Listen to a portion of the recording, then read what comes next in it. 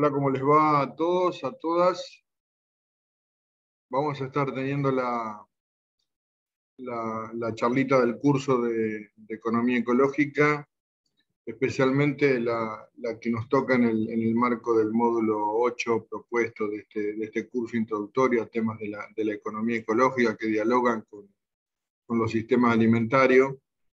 Y un poco el, foco de, esta charla, o los dos o tres tips o, cuestiones claves que, me gustaría dejarles en la charla, tienen que ver con lo que nosotros llamamos huellas, mochilas, en inglés un poco se le llaman body materials en algunos casos, eh, en otros ya vamos a ver que no, pero como un poco este proceso de, las huellas y, y de los materiales incorporados en los, los productos que, se van transformando de la agricultura, en el caso que, nos ocupa a nosotros, pero básicamente de, muchos otros también, tienen un peso en términos de la demanda hacia las sociedades sobre cuestiones que se ven desde el punto de vista tangible y cuestiones que no se ven tanto, es decir, que nosotros hemos dado en llamar eh, intangibles. Y mucho de ello relacionado con algo que ya hemos estado hablando, discutiendo, intercambiando,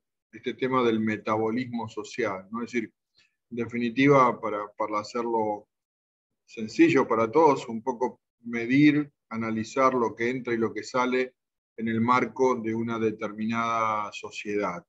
Y parado en eso, a los fines de, de los, del análisis desde los modelos agrícolas, los sistemas agrícolas, el tema de la huella, es importante. Es importante especialmente, perdón, por algo que hablábamos en la primera charla y que, que tiene que ver con el cambio de uso del suelo, ¿no? es decir, el papel importante de, la gran transformación hoy en día y que impacta y especialmente en los países de América Latina tiene que ver con este tema de, del cambio de uso del suelo. Entonces, dicho esto, la huella, que particularmente la huella ecológica, eh, su definición básica es que se mide en hectáreas, eh, nos es útil como un análisis para comprender estas cuestiones que algunos habrán visto en otras, en otras formaciones, algunos habrán estado analizando, en otros casos este, hasta calculando, esto se hace hoy en día en distintos niveles de formación, desde, podríamos estar hablando de la escuela primaria hasta la universidad o en la, formación general que cada uno quiera ir este,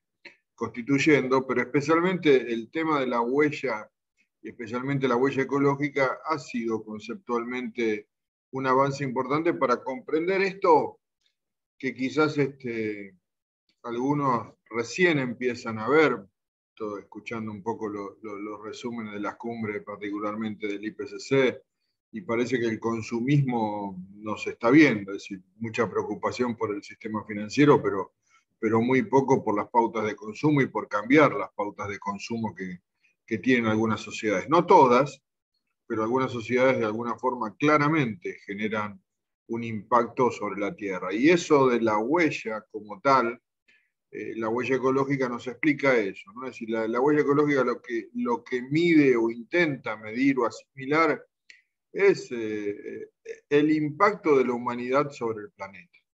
Si parado un poco visualmente, más sencillamente, es tal cual lo que nosotros estamos viendo allí. ¿no? Es decir, la impronta real en términos de la demanda que se hace sobre los recursos y cómo se, se produce el impacto sobre esos recursos, de una forma fuerte, importante.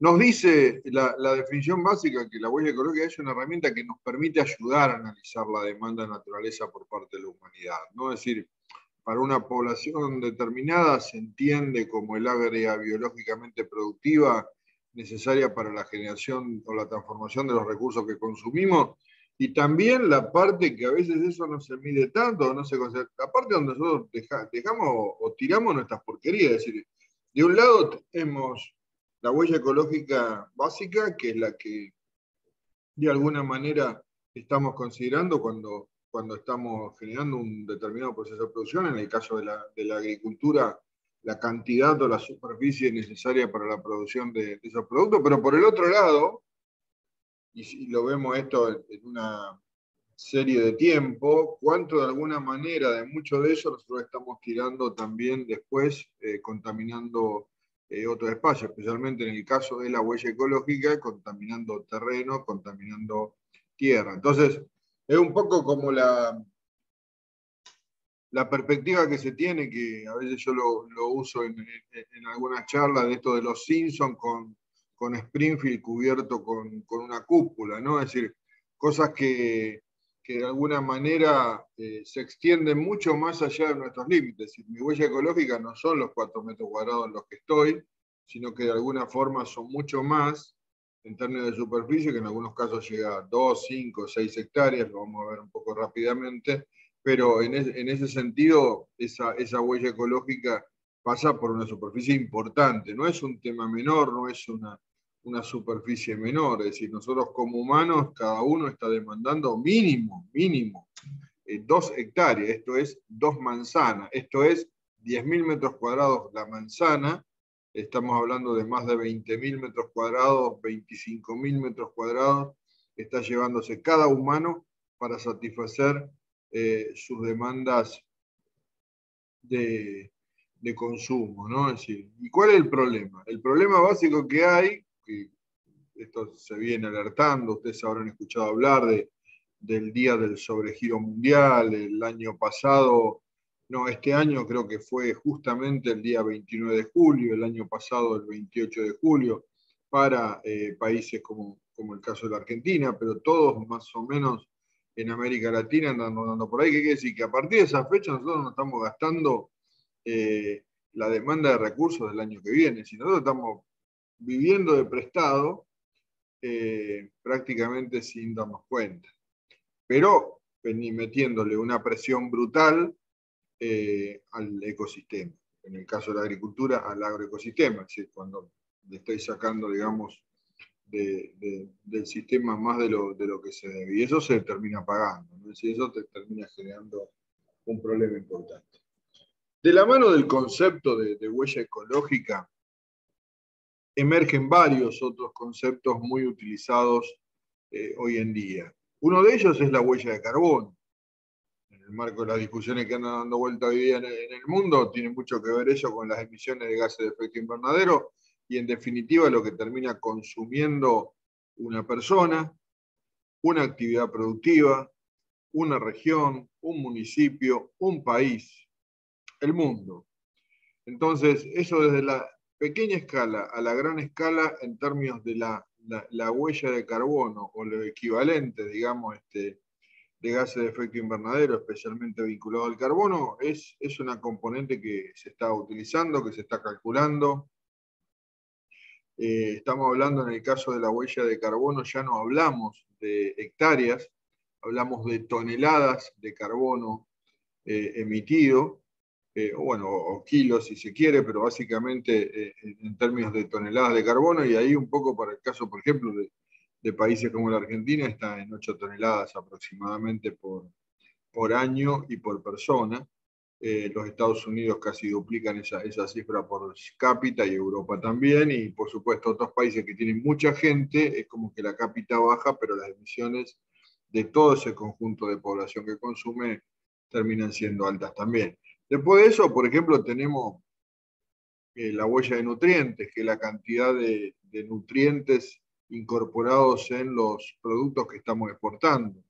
Y ahí hay otra cuestión que también, ¿no? Es ese vaciamiento que, que les hablábamos a ustedes en algún momento, termina siendo constante y sonante, y termina siendo un peso fuerte, un peso importante para comprender muchos de estos, de estos procesos en los que nosotros estamos trabajando y estamos hablando. Entonces, Creo que por ahí un poco van las, las cuestiones vinculadas, muy vinculadas con el tema de las huellas, todas derivadas conceptualmente de esta fantástica idea de, de Bagernagel y Ries, y que bueno, ellos siguen colaborando y, trabajando bastante eh, en la promoción de, de, toda esta discusión.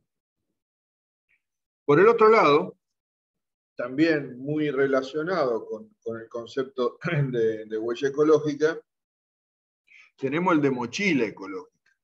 ¿Y qué es la mochila ecológica? La mochila ecológica es la cantidad de materiales necesarios para la producción de un determinado bien medidos en kilogramos o toneladas. Entonces, si yo tengo esta mesa de madera en, la que estoy, la mesa con el origen de la mesa, que también es madera, prácticamente emula a su peso, pesará 50 kilos, 40 kilos. Bueno, la, mochila ecológica de la mesa será 60 kilos cuando uno le saca la rebarba, cuando limpia, digamos, un poco el material y todo, pero es una mesa de madera. Ahora bien, un equipamiento electrónico, es decir, este, por ejemplo, un celular o la computadora con la, con la que estamos hablando, seguramente no pesa 200 gramos, seguramente pesa mucho más porque se necesitaron muchos materiales transformados para la producción de esto. Entonces, esto es una mochila. Y esto es una mochila grande. Entonces a esto se le llama mochila ecológica. Y esto es una discusión también que se está dando, y justamente para, de alguna manera, ayudar a, comprender procesos que desmitifican un poco lo que los economistas vienen diciendo, es decir, como que la, economía viene creciendo por los aportes, digamos, este, inmateriales de la, de la sociedad humana y lo que fuera, en parte eso es verdad en términos quizá monetarios, pero en términos físicos lo que está sucediendo es que la economía mundial y de la mayoría de los países está creciendo justamente por la, cantidad de materiales que se están transformando y que están generando nuevos productos que luego nosotros tenemos, pero básicamente cada uno de esos materiales necesitó una carga importantísima o altísima o pesadísima de, materiales externos para producirlo. Eso es la mochila ecológica, la cantidad de materiales convertidos en kilos o toneladas que uno necesita para la producción de un determinado bien. Y ojo al piojo que esto es una cosa fuerte, eh, importante y pesada para comprender, digamos, cómo evolucionan y cómo demandan las sociedades. Y otra que realmente es una huella que que nos tiene cada vez más preocupados por, el, por la demanda mundial que hay de recursos y de un recurso que se está haciendo cada vez más escaso, es el de la huella hídrica. Es decir, conceptualmente la idea de la, de la huella hídrica eh, puede medirse o puede emularse la cantidad de agua necesaria para la producción de un bien, esa huella, como lo vamos a ver, se caracteriza de, distintas maneras, pero conceptualmente es la cantidad de agua que yo necesito para la producción o la transformación de un determinado eh, bien. Y uno de los problemas que estamos teniendo a escala planetaria es que cada vez tenemos menos agua, o tenemos menos agua en los lugares donde la necesitamos y tenemos agua en algunos lugares donde no la necesitamos. Y entonces, hoy en día, vinculando esto del cambio climático, que es una realidad, junto con la demanda que se está teniendo con respecto al recurso hídrico, estamos enfrentando un problemita importante. Entonces, esto realmente es algo bastante novedoso en el marco de la discusión. Sí sale, incluso aparece antes del trabajo de Matisse Bagernagel y Jeremy Rees, eh, eh, eh, en un documento que podría decir pionero, que se publicó inicialmente en el Correo de la UNESCO, es algo así como un título, ¿habrá una guerra por el agua? Y sí, de hecho las hubo, las hay, posiblemente las, las haya en el futuro, en el cual el, profesor Anthony Allen en primera instancia hablaba de estos flujos de agua entre un lado y el otro de, distintos espacios, y parado en esa situación, advertía sobre qué podía llegar a pasar vinculada con, ese, con esa cuestión especialmente.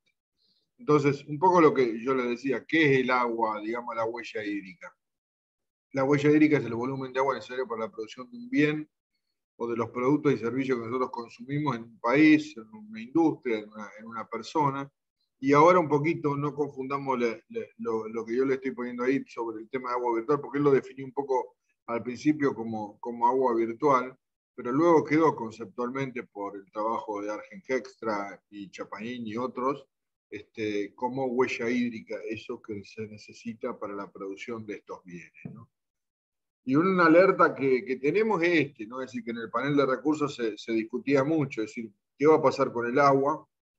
Y lo que termina sucediendo es que ajustando, ajustando todo lo posible la demanda mundial de agua, es decir, haciéndola más eficiente ese, ese uso del agua, y ajustando la oferta mundial de agua, eh, una de, las cosas que tenemos, que tenemos un gap, un puente roto entre oferta y demanda mundial que nos marca que hacia el año 2030 o por ahí,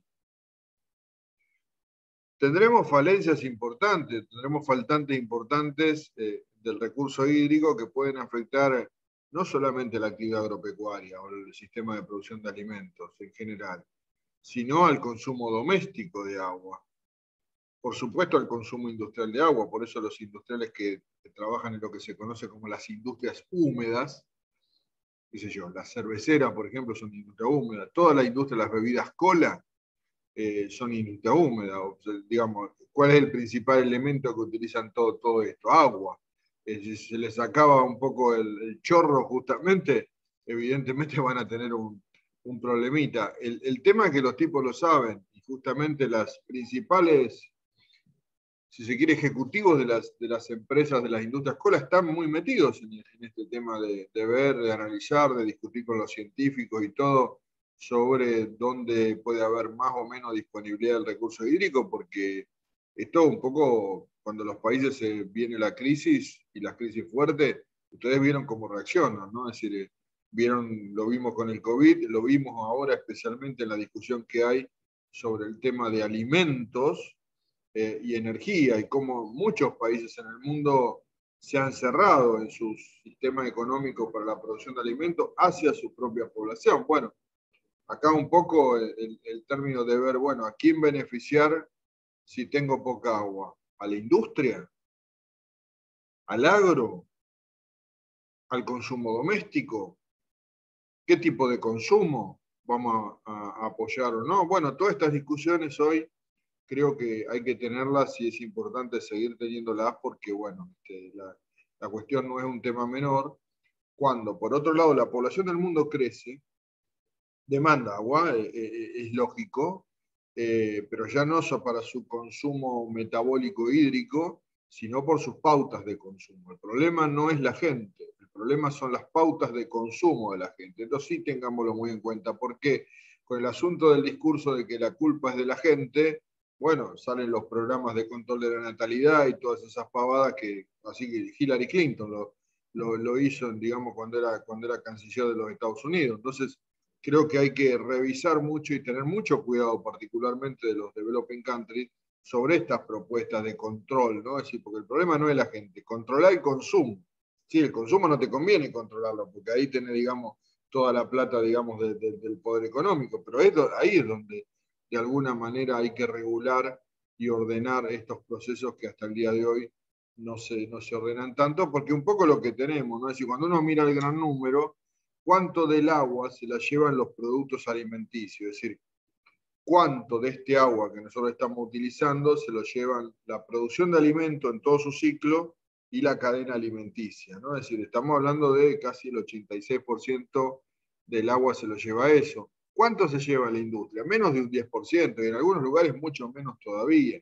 Y el consumo doméstico hoy es menos de, todo, es decir, el consumo para satisfacer las necesidades domésticas anda por el menos del 5%. Y tendríamos que considerar también, por supuesto, el tema de los consumos que se relacionan con las otras especies eh, y los ecosistemas, que muchas veces eso no se discute. Y para eso, ¿no? Eh, una, de las cosas que se planteó, que lo planteó el Research Pan, que, que, que se lo plantea Naciones Unidas Ambiente también, eh, que está bastante sobre, sobre la mesa de la discusión de, por un lado, el marco de sustentabilidad con los indicadores de sustentabilidad y luego la eficiencia, un poco volver a ese concepto de, de ecoeficiencia que algunos plantean, y tiene que ver con esto, ¿no? es decir, con, con estas relaciones que hay entre la productividad de los recursos, la, los impactos eh, ambientales producidos por ese proceso de transformación el crecimiento económico. Esta es un poco la primera gráfica, yo se las quería poner, porque esta es la primera idea incipiente que salió sobre el tema del desacople o desacoplamiento, eh, una pésima traducción, este, pero bueno, conceptualmente la idea es de, desacople, en inglés sería decoupling, utilizan eso, eh, para comprender este proceso. Esta primera imagen me pareció interesante mostrársela porque esto es cuando se iniciaron las discusiones sobre, sobre el desacople. Y un poco una de las cosas que decíamos, bueno, pero no todo es crecimiento económico, no todas las sociedades viven de esta manera. Hay sociedades que, pretenden avanzar a lo largo del tiempo, sí, por supuesto, eh, disminuir su consumo de, recursos naturales y su impacto ambiental, pero por el otro lado tener, digamos, otra, otra calidad de vida, otra mirada, y ahí aparece el concepto de bienestar humano, ¿no? Es decir, ahí un poco lo, planteamos nosotros en esa, en esa discusión de decir, bueno, veamos un poco por dónde van los tiros acá, veamos qué es lo que está sucediendo, entendamos que la actividad económica, sí, por supuesto, eh, eh, tener ingresos para la salud de las personas, tener ingresos para, para la educación, o obtener los ingresos vía el Estado para poder este, reinvertirlo, digamos, en quienes, en quienes no puedan llegar a, esos, a esa mínima línea que en algunos lugares, inclusive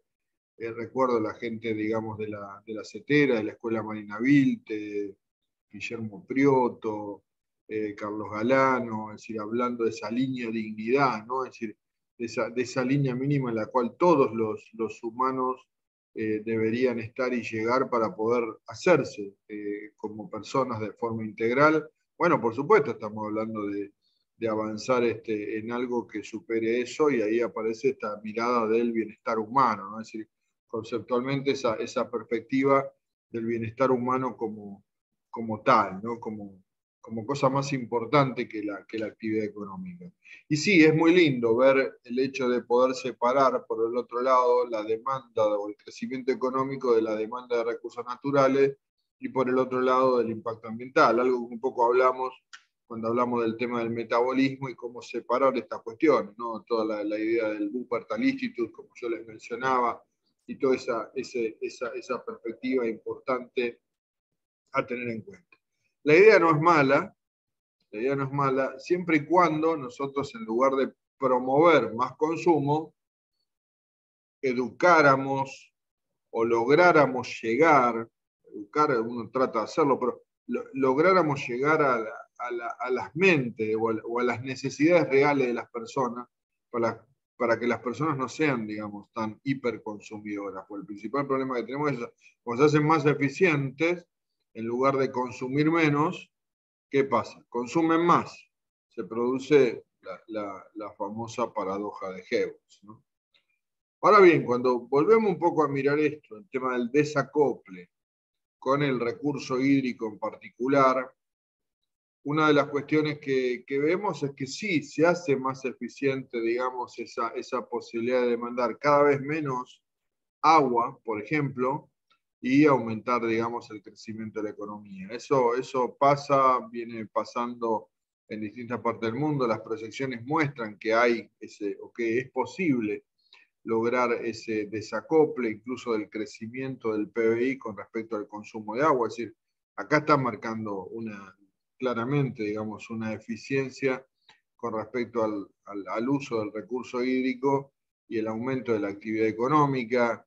Lo mismo pasa en otras economías, en otros países, donde en lugar de consumir más agua, consumen menos. Es decir, ¿cómo, cómo hacen? Y bueno, de hecho, mejoran su red de, transporte del agua, eliminan especialmente ¿qué cosa? las filtraciones, las pérdidas, este, todo esto, y ahí se puede hacer muy eficiente. Eh, el término agua al riego, por ejemplo, es un, ejemplo de Israel en, el cual de alguna forma esto es este, como algo así como decir eh, tonelada por gota o kilo por gota en términos de hacerse más eficiente eh, por gota de agua eh, irrigada. Y bueno, de alguna forma esto sucede claramente en un país pequeño restringido seriamente con respecto al acceso al recurso hídrico, que también transforma el recurso hídrico, digamos, este, salado en agua disponible para, la producción. Pero bueno, a nivel de otras escalas este, cuesta más verlo, cuesta más este, comprenderlo. El consumo per cápita también de la población, en términos de una población que se va formando, que va recibiendo cada vez más educación, que también se va manejando vía precio, ¿no? Es decir, este, acá hay una, discusión desde la EcoEco, es decir, cuál es el precio que se le pone. Bueno, tenemos una flor de discusión. ¿Por qué? Porque el recurso hídrico es un derecho humano. Sí, todos respondemos que sí. Ahora te salen las empresas y sí, sí, pero el tratamiento de ese recurso hídrico nosotros lo estamos pagando. Bueno, esta discusión que no nos da tiempo, pero podemos tener en el taller. esa discusión sobre el tema alimentario, si, si les parece, creo que es una, discusión como para darse, ¿no? es decir, como para, para tener planteada claramente qué es lo que termina pasando con respecto a, la fórmula del agua, porque lo tenemos claro con la agricultura, se entiende perfectamente la cantidad de agua necesaria para la, producción de, un determinado bien eh, agropecuario. Pero la minería, hoy en día, digamos, estamos teniendo una demanda brutal en términos de agua, de recurso hídrico por parte de la minería, que algunos están viendo y otros no están viendo tanto.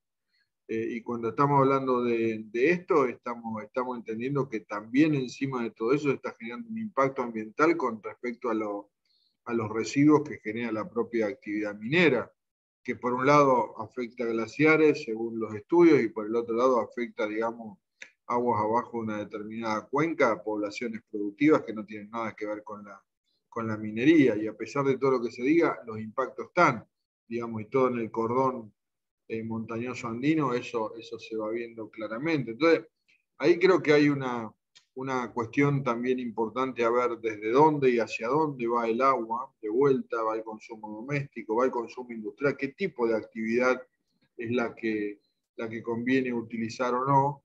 Porque bueno, el tema de uso del recurso hídrico es, es, una cuestión seria importante eh, y a tener muy, muy en cuenta. ¿no? Si por el otro lado, cuando, un poco lo, puedo comentar acá, es decir, cuando nosotros dividimos esta agua, porque hoy en día podemos incluso catalogar este agua, ¿no? Es decir, y ahí nos podemos meter en decir, bueno, eh, la huella hídrica en general la podemos entender, la podemos dividir, la podemos separar en varias huellas, ¿no? Es decir, y en el marco de, de, esa, de esas varias huellas ¿qué podemos tener? Y bueno, podemos tener claramente lo que tenemos como la huella hídrica verde, la huella hídrica azul y la huella hídrica gris. Las tres, huella hídrica verde, azul y gris, componen la huella hídrica total. ¿Qué es la huella hídrica verde? La huella hídrica verde es la cantidad de agua que está hasta un metro de profundidad en el perfil del suelo es lo que sostiene de alguna forma lo que entendemos como la agricultura de secano. Es decir, es lo que en, muchos de los países nuestros, donde no se utiliza el riego, bueno, es la, principal fuente de, agua para, estos cultivos. Bueno, esa, esa huella hídrica verde eh, se conoce como tal, eh, algunos la reconocen como agua verde también. Eh, y es la que está hasta un metro de profundidad este, en, el, perfil del suelo. ¿Qué es la huella hídrica azul? La que de alguna forma se obtiene cuando uno pincha, cuando extrae agua mucho más abajo o por lo menos de la segunda napa disponible o cuando llega al acuífero o cuando trae agua desde un río y la empieza a utilizar, digamos, a través del riego o cuando de alguna forma es esa agua que viene de los glaciares y que, bueno, llega por ríos, por lagos y que termina siendo también este, manejada de esa manera. Esa es la que se conoce como huella hídrica azul. ¿Y la huella hídrica gris cuál es? La huella hídrica gris es el agua contaminada. Básicamente el agua que se contamina en la actividad industrial o en la actividad agropecuaria con agroquímicos o con una carga importante de fertilizantes sintéticos porque termina contaminada con materiales que se terminan arrojando, digamos, esos cursos de agua. En definitiva, es el agua que uno tiene que volver a tratar, a reciclar, si la piensa volver a utilizar. Entonces, bueno, estas tres huellas son las que definen muy bien la cuestión. ¿Por qué es importante separarlo también? Porque fíjense, una cosa es discutir y decir, bueno, miren, nosotros estamos en una provincia eh, o en un municipio en el cual la huella hídrica verde es 98% y la huella hídrica azul es del 2%. Y bueno, estos tipos no están pinchando el acuífero, no están agotando los acuíferos, no están degradando la napa. Básicamente la cosa está normal, si se pudiera decir.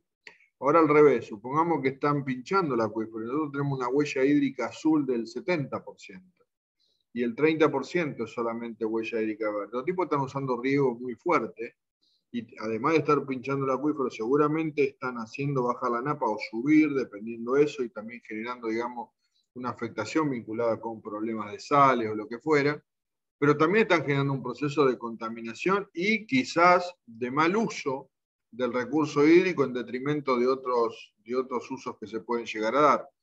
Y hoy estamos sabiendo que, por ejemplo, una afectación, una presión muy fuerte sobre, el acuífero lo puede terminar agotando, o lo puede terminar degradando, o nos puede hacer bajar, digamos, esa caja de ahorro líquida que tenemos, ¿no? Como hablamos de los nutrientes, caja de ahorro del suelo, en este caso tenemos una caja de ahorro líquida, que son los acuíferos, los terminamos también agotando a costa de este tipo de consumo. Entonces, un poco resumiendo la idea, ahí tienen lo que es el agua verde, lo que es el agua azul, cómo cada una viene de un determinado objetivo y cómo cada una de alguna forma termina constituyendo esta instancia que son importantes para comprender, ¿no? Es decir, el agua verde o la huella hídrica verde, el agua azul o la huella hídrica azul, y de alguna manera cómo tratar de subsanar este, este problema importante.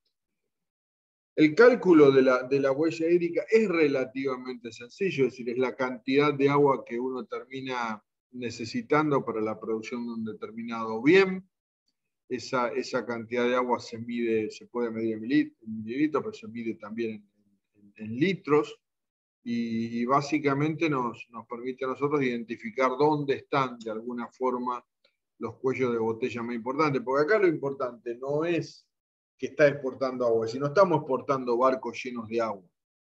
algún loco se le ocurrió, ¿eh? es decir, este, hubo algunos acá eh, hace relativamente pocos años que en Buenos Aires querían exportar agua eh, en, los barcos graneleros este, para llevarlos a otras, otras partes del mundo. Y por el otro lado, digamos, lo, lo que realmente estamos exportando son los productos que utilizan agua, que la comparación es importante cuando uno dice, bueno, ¿Qué es lo que estamos midiendo? Y bueno, nosotros estamos midiendo la huella hídrica que necesitamos para la producción de un bien, pero cuando ese bien se termina transportando, llevando una parte a la otra del mundo, de lo que estamos hablando es de agua virtual. Yo no exporto el agua, yo exporto el producto producido con el agua que tenía en mi lugar. Ahora bien, ese producto lo estoy exportando quizá a un lugar que no tiene agua, un lugar que ha hecho un muy mal uso del agua. Estoy exportando a Europa, lo estoy exportando a los países árabes, es decir, que no tienen agua. ¿Cuánto les costaría a los árabes producir un kilo de tomate como producimos nosotros aquí eh, en Sudamérica? Es decir, ¿cuánto de alguna manera le, le costaría a un árabe producir en su territorio una cabra, ¿sí? una vaca? Que demanda una cantidad de agua eh, importante para eso. Sin embargo, bueno, nosotros estamos aportando quizá carne, pero no estamos o nadie está reconociendo la importancia intrínseca que tiene el factor huella hídrica como tal. Y a decir, bueno, vamos a estos componentes, los componentes un poco de lo que yo les mencionaba a ustedes ahí. Es decir, tengo también una huella hídrica directa y otra indirecta. Directa vinculada con la producción que se relaciona con con el producto en cuestión, la huella hídrica indirecta, cuánto de alguna manera en el transporte, en la logística, en la colocación del producto en el mercado, y luego, digamos, en la parte de la disposición final, uno puede calcular toda esa secuencia de esa, de esa huella hídrica como tal. Lo puede calcular a nivel de proceso, de producto, de país, de persona o lo que fuere. Entonces, ahí un poco lo interesante de esto es que una de las personas que más ha trabajado sobre el tema de, huella hídrica ha sido una investigadora española cuyo nombre es Maite Aldaya, muy, muy formada con, con un profesor español que trabajó siempre históricamente sobre los temas del agua, que es el profesor Garrido. Y de alguna forma creo que, que ese equipo que también se integró después al, del CERSPAN y de Naciones Unidas para analizar el, el tema de la huella hídrica dio, dio mucha información, porque bueno, una, una cosa importante a tener en cuenta, ¿no? es decir, España es un país digamos, prácticamente desértico en términos de disponibilidad de agua, a pesar de que la tiene, pero bueno, lo que los que mejor administraron el recurso hídrico este, fueron los árabes en su momento, ¿no? es decir, a lo largo de, todo, de toda la experiencia y conocimiento que, que fueron dando, especialmente la agricultura. Entonces creo que un poco por, por ahí, andando, andando por allí, eh, el cálculo del indicador es relativamente sencillo, como yo le decía, el trabajo de Maite Aldaya ha sido muy interesante, Y, en ese sentido fue un trabajo que termina sumando, digamos, las distintas huellas, hídrica, verde, gris, a través del cálculo de un factor aditivo, ¿no? es decir, este, en cada uno de los procesos, cuánta agua necesito, sumar esa agua de ese proceso, voy al siguiente proceso, cuánta agua necesito, sumar esa agua del siguiente de ese proceso, y así sucesivamente hasta obtener el, el dato final. Y bueno, yo un poco estoy necesitando ese volumen de agua para la producción de que una tonelada de soja o una tonelada de maíz. Entonces, no es lo mismo, a veces cuando se habla de decir, bueno, vamos a producir soja en la provincia de Buenos Aires o vamos a producir soja en la provincia de Formosa. La evapotranspiración que se produce en la provincia de Formosa y la cantidad de agua necesaria para la producción de la misma tonelada de soja va a ser más alta en uno que en otra región. Y esto se ve claramente en distintas partes del mundo. Para los mismos productos, la cantidad de agua que se necesita, en función de la geolocalización del, lugar donde, esté cada, uno esté ubicado, cosa que no es un tema menor. ¿no? Es decir, un poco la huella hídrica y la energía no lo, no lo, no voy a apabullar esto porque estamos en el sistema alimentario, pero hay actividades hoy día eh, con recursos no renovables que trabajan muy fuerte en, los temas de identificación de la huella hídrica para la producción de, distintos elementos porque la necesitan estimar. La industria petrolera lo, lo ha hecho, eh, lo sigue haciendo eh, y están investigando mucho porque, por ejemplo, cuando se está trabajando en el tema del fracking y ese tipo de cuestiones, están utilizando mucha agua para eso. Bueno, eso se va a convertir rápidamente en agua gris, a pesar de todos los equipos este, que uno ha visto, todavía no se han hecho tan eficientes como para hacer el tratamiento de todos este, los elementos que utilizan, digamos, este, en la extracción petrolera y ahí, y para el fracking particularmente, y para ahí, digamos, los costos en agua gris todavía siguen siendo, siguen siendo elevados.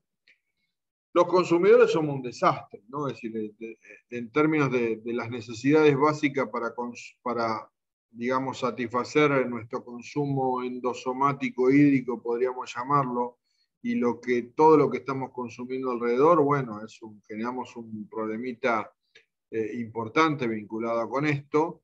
Eh, y esa huella también de vuelta, desde el producto que nosotros tenemos hasta donde llega, digamos, eso es, es importante eh, tenerlo calculado. La huella hídrica directa es lo que se necesita para la producción del bien, todo el indirecto es transporte, logística, consumo y colocación, digamos, de ese, de ese producto como tal. Y como le decía, los consumidores un poco estamos necesitando, dependiendo de los lugares del mundo, ¿no? Decir, pero básicamente, si lo medimos en términos de la satisfacción de nuestras necesidades inmediatas, estamos necesitando unos 20 litros de agua por día y por persona. Pero está lo que sería la huella hídrica invisible, ¿no? Es decir, la, la cantidad de agua que nosotros demandamos, que nosotros necesitamos realmente para comprar los productos que estamos, que estamos consumiendo. Y ahí Ahí es donde está el, gran lío. Si ustedes lo miran directamente, ven claramente, por ejemplo, para los productos agrícolas que, una persona consume, está llevándose aproximadamente unos 3.000 litros de agua por día en productos agrícolas. Para, para los productos industriales está llevando aproximadamente eh, unos 400 litros por día. Entonces hay un, problema importante en la forma que gestionamos, administramos el recurso hídrico y cómo también lo estamos consumiendo. Entonces creo que ahí hay una, cuestión a, resolver o a, ordenar. Y en la contabilidad nacional de la, huella hídrica, insisto, esto es un indicador, nos da, digamos, una tendencia. Para los países, digamos, que son deficitarios en agua, sí es tremendamente importante y ya tendrían que estar implementándolo y controlando, y algunos lo están haciendo, pero básicamente es es una cuestión a, a considerar de, forma importante, ¿no? Es decir, cuánto, cuánta agua se está yendo en los distintos productos que nosotros estamos, estamos exportando. Argen Hextrack fue quien de alguna manera más trabajó en el indicador de huella hídrica, si ustedes lo, buscan, eh, o en inglés también, de Water Footprint, eh, van a encontrar bastante información de, él y de todo el equipo. Hextra es un investigador que falleció, digamos, bastante joven, muy recientemente, eh, pero que dejó sembrado un montón de ideas tremendamente útiles para que la humanidad comprenda, digamos, dónde están los límites, por ejemplo, en el caso de un recurso tan, tan importante como el agua. Entonces creo que, que por ahí es, es, un material importante este tema de, de, ver cómo cada uno está consumiendo agua en distinta escala y cómo después el país consume esa, ese, ese agua también de esa manera, ¿no? Es decir, cómo se puede contabilizar eso en un balance. Nosotros lo hicimos, por ejemplo, para el caso de la soja y para algunos otros cultivos, también desde el punto de vista metabólico lo hicimos en términos de nutrientes, para, para, para otros cultivos lo hicimos para, para el metabolismo hídrico, y uno lo que termina viendo es justamente que a veces se genera una sobreexplotación escondida bajo buenos precios que no terminan valorando qué cosas, las externalidades producidas por la explotación del recurso, ¿no? Es decir, afectar la napa, afectar el acuífero, no es algo que te va a salir gratis y que de alguna forma impacta o impactará en las generaciones, yo no digo generaciones futuras, digo en las generaciones inmediatas como tal. Cuando uno empieza a mirar esto, por ejemplo, hay un muy buen documento que hicieron los, de Bell en el año 2021 que se llama el Atlas de la Carne, que es un documento eh, bastante actualizado, si ustedes lo buscan, creo que ya está en español también, Atlas de la Carne 2021. No digo el anterior, porque el anterior sí lo, difundimos inclusive nosotros en los, congresos de, economía ecológica, que creo que salió en el 2014, pero hay uno más nuevo, que está muy bien, muy bien armado, porque justamente lo que muestra es la cantidad de agua necesaria para los sistemas alimentarios, ¿no? Decir, y ahí es donde, donde realmente ajustes no se pueden hacer más de lo, de lo que hay, porque eso viene derivado del metabolismo de los distintos, este, de las distintas especies con las que estamos trabajando. Es decir, entonces, para un kilo de soja están necesitando, dependiendo de los lugares, ¿no? 2.300 litros de agua. Eh, un kilo de carne de vaca, carne de res, está llevando entre 16.000 y 20.000 litros de agua. Eh, una taza de café, una taza de café, la mitad de esto, ¿sí? la mitad de esta tacita se está llevando este, 140 litros de agua más. El papel, que en, Argentina ha generado unos problemas brutales de discusión, digamos, entre, entre dos países, en Argentina y Uruguay, justamente por el tema de la producción de pasta de papel. Venimos a producir eucalipto en lugares, en un país más o menos seco como, como el Uruguay, donde el manejo del agua también le genera un flor de problemas, y, y le ponen plantaciones de eucalipto que, que las plantaciones de eucalipto actúan como, digamos, bombas de extracción de agua alguien que trabajó mucho en, esta línea, ¿no? Decir, y que generó todo un movimiento social importantísimo que se llamó Ricardo Carrere, eh, fue un investigador que luchó mucho desde las organizaciones no gubernamentales para tratar de conciliar un poco la idea y meterlo en, el manejo o el pensamiento de los de política de la mejor administración del recurso en un país donde eh, no sobra el agua, es decir, y Carrere generó un concepto, ¿no? Es decir, las plantaciones no son bosques. Es decir, y el manejo de una plantación que extrae agua a lo loco con respecto a un bosque es algo totalmente diferente. Entonces, esas cosas también hay que tenerlas muy, muy en cuenta cuando uno está hablando de este metabolismo hídrico, en el cual, por supuesto, que eh, los cultivos de soja acompañan, digamos, esta extracción fuerte, selectiva, eh, del agua a nivel del agua de secano, como yo decía, como era el agua verde, ¿sí? y a nivel del agua de riego, que es el agua azul. Entonces, básicamente ahí tenemos mucho como para poder entender esas demandas brutales que hay con respecto a un recurso sensible para, para todos nosotros, más sensible en el plazo inmediato, es decir, si aquí hay alguien en, en el curso de 20 años, bueno, cuando tenga menos de 30 años va a estar enfrentando un flor de problema eh, vinculado con el agua y, lo que estamos más adelante también lo vamos a estar enfrentando de distinta escala, pero posiblemente la población más activa que viene va a estar viéndose restringida a un montón de usos quizá en la, que en las generaciones anteriores no, no lo tuvimos y eso es importante considerarlo, ¿no? Es decir, eso es importante de ver cómo en el futuro esas generaciones se van a ver afectadas y entender que para cada recurso transformado en producto, ¿sí? Se necesita agua. Y ese agua a veces no, no, está tan disponible, no es tan fácil de, encontrar. Incluidos los productos industriales. Ejemplo, claro, típico. Estados Unidos y, México tienen acuerdos comerciales. Y Estados Unidos con Canadá también los tiene. Y los tres forman una, digamos, una, una integración comercial. Bueno, Estados Unidos colocó sus plantas de transformación de motores o de preparación de motores, en muchos casos en territorio mexicano. Un país seco y para la producción de motores lo que más se necesita, para la producción de los bloques de motores lo que más se necesita es agua. Entonces coloca en un país seco la demanda de agua más importante, es decir, cuando en realidad se está ahorrando toda esa agua para la producción, ¿sí? en una supuesta eh, integración entre tres economías. Y esto de dónde se colocan las distintas actividades empresariales, las que son agua intensivas, ¿sí?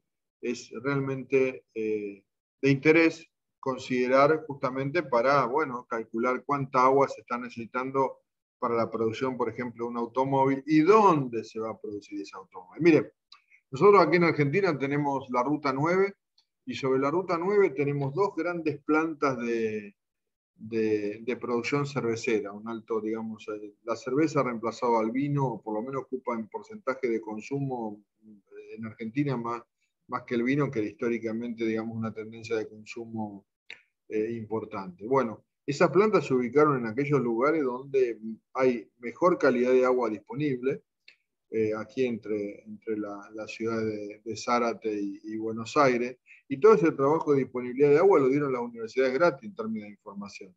Pero las plantas no están pagando por el uso consultivo del agua, eh, ni por el uso, digamos, del agua en términos estratégicos como lo nosotros lo estamos planteando, están pagando un canon de uso del agua. Industrias que son agua dependientes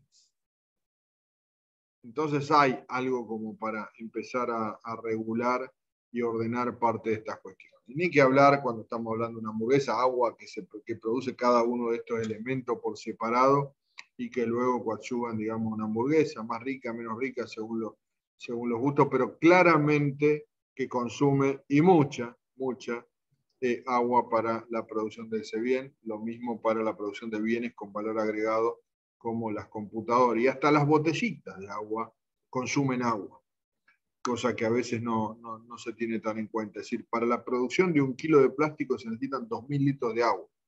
Consideremos el volumen brutal que nosotros estamos teniendo hoy en términos de agua embotellada. los tipos han logrado meternos en la cabeza, o, a una parte de la población, meterle en la cabeza que el agua en botella es más sana que el agua de grifo. Han logrado eso.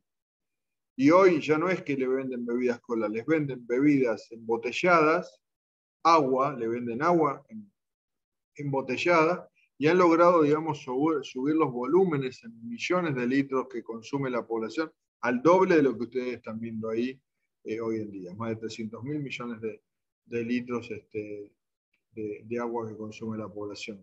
Agua para la producción de todos los bienes que son bienes descartables, que son productos descartables. Entonces, bueno, hay pocos simplemente eh, tienen los números de, cuánto se necesita para la producción de estas cuestiones y marca lo costoso que es. Otra actividad industrial, ¿sí? la producción de acero se lleva, digamos, ingentes cantidades de, agua, por supuesto. La producción de papel, como yo un poco lo, lo mencionaba también, ni que hablar para la producción de una tonelada de papel entre 200 a 325 mil litros de agua en función de la eficiencia, digamos, de, la producción de ese papel.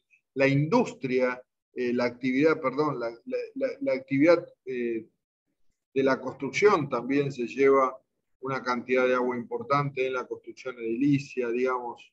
¿Cuántas veces a veces este, vemos como en una obra en construcción está continuamente, digamos, eh, la manguera disponibilizando el agua para, para el trabajo de los, de los trabajadores, pero cuánto de eso realmente está generando problemas importantes. ¿no?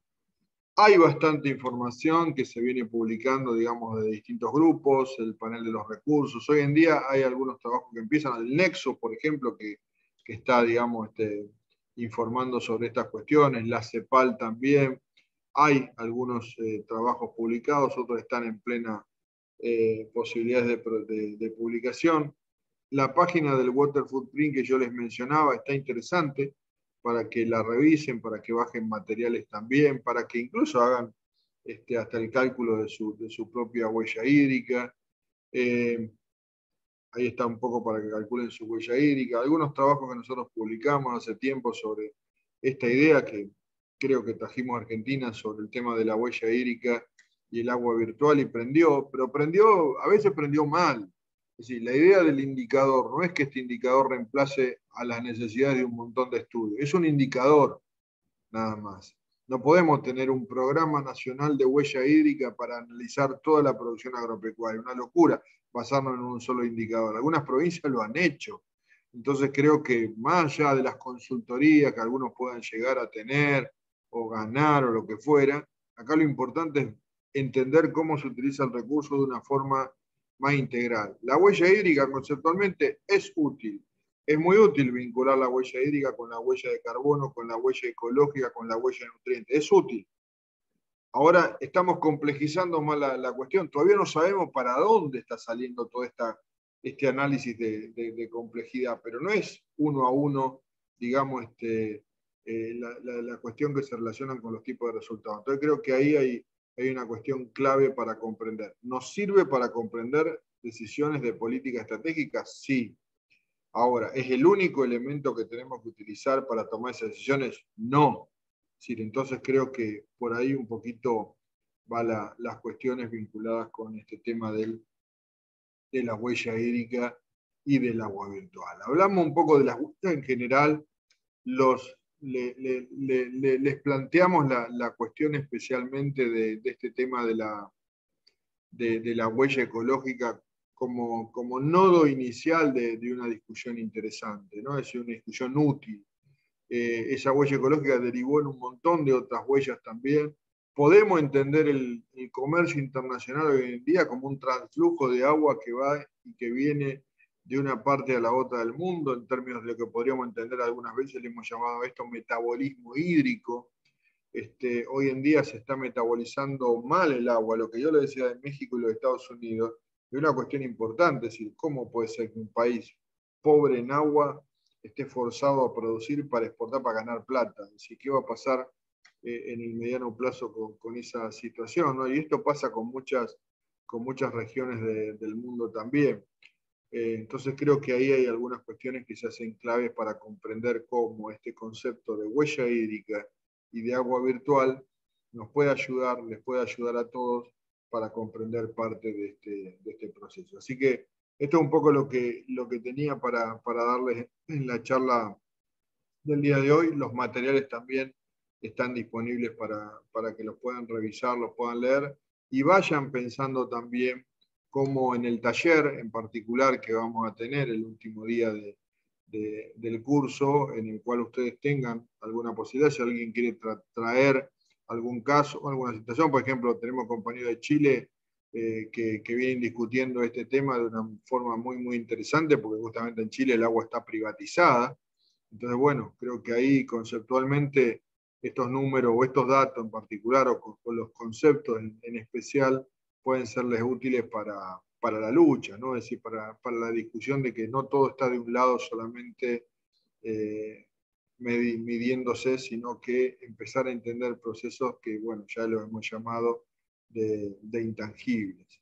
Y pensemos juntos un poco cuáles son los escenarios que más allá de, la, de las charlas que yo voy armando, que los voy dando, este, ustedes quieren plantear especialmente en el taller. Si quieren nos escriben por correo electrónico al correo electrónico del curso eh, y los vamos incorporando. Ya hay tres o cuatro compañeros de ustedes que nos han planteado esto y bueno, vamos incorporando. Y si hay que hacer un segundo taller eh, para escucharnos entre todos, por supuesto que con mucho gusto lo, eh, lo hacemos también. Lo importante, como hicimos en el curso de agroecología, en el cual realmente participaron un montón de interesados y tuvimos que ir agregando este, días y días para, para escucharnos entre todos, bueno, ténganlo muy, muy en cuenta esto también, de que la cosa no sea pasiva de que nosotros solamente desde el que PAMA y BEL estemos dando eh, información, eh, sino que también un poco al estilo de un feedback, este, lo que a ustedes les parezca interesante y útil para sus propias discusiones, su propia formación, su necesidad de lucha sobre eh, una situación u otra, en lo que humildemente podamos ayudar. El objetivo del curso especialmente tiene que ver con con esa consideración, ¿no? Es decir, un poco con esa colocación de ideas o sharing, es decir, o, compartir ideas eh, de la economía ecológica para estas discusiones un poco más, más profundas que tienen específicamente que ver con, con, la cuestión del, de, la mejor forma de utilizar los, los, recursos naturales. Es un poco, esa es básicamente la, la idea principal que, que, todos nosotros tenemos. Así que bueno, nos, nos vemos entonces el, el, lunes que viene y, y, luego ténganlo en cuenta, luego de ese lunes este, tenemos el taller discutimos esto en el, en el marco del taller eh, y otros temas que también ustedes quieran agregar. Entonces escríbanos por correo electrónico y nos terminen avisando quiénes son los que quieren participar eh, en este tallercito. ¿Sí? Así que bueno, buenas tardes, buenas noches a todos. Eh, cuídense mucho y sigamos adelante.